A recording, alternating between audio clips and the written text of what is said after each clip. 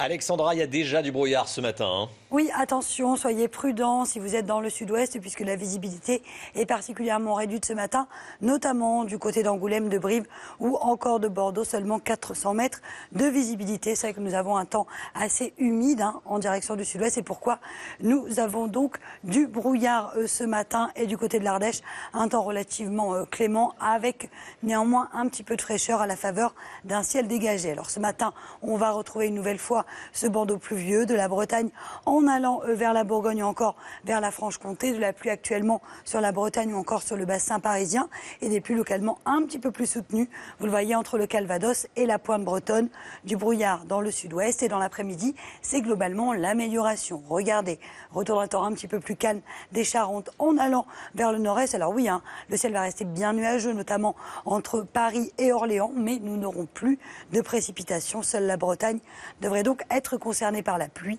du beau temps des Pyrénées en allant euh, vers les Bouches-du-Rhône. Les températures ce matin relativement douces, notamment dans le sud, avec 14 degrés à Perpignan, seulement 6 degrés du côté de Nancy. Et dans l'après-midi, les températures seront contrastées. Au nord, c'est frais, seulement 11 degrés à Rennes ou encore du côté de Paris, tandis que vous aurez 23 degrés à Toulouse ou encore du côté d'Ajaccio.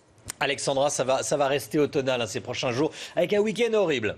Oui, week-end placé sous le signe des nuages, mais aussi de la pluie. Alors demain, c'est une journée de transition avec globalement de bonnes conditions. Et puis à partir de jeudi, de nouveau, une perturbation. On va passer dans un flux d'ouest, flux atlantique. Et donc au programme, défilé de perturbations, nuages grisailles. Dimanche, n'espérez pas voir le soleil, au nord comme au sud. Au moins pas de jaloux, vraiment un temps très très mitigé pour le week-end qui arrive.